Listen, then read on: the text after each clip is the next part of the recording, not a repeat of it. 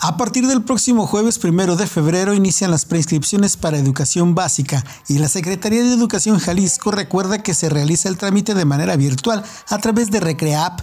y se habilitó un call center para dar auxilio a los padres de familia en este proceso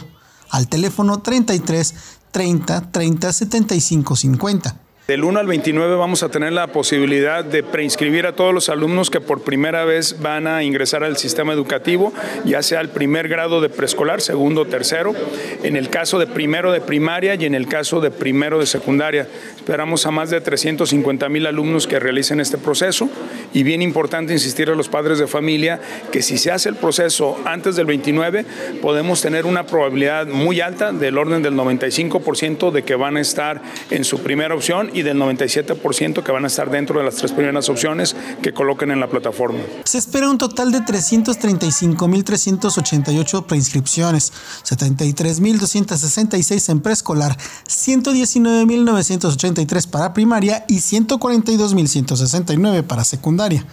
Con imágenes de Ariadna Quesada para Jalisco TV Noticias, Juan Carlos Huerta Vázquez.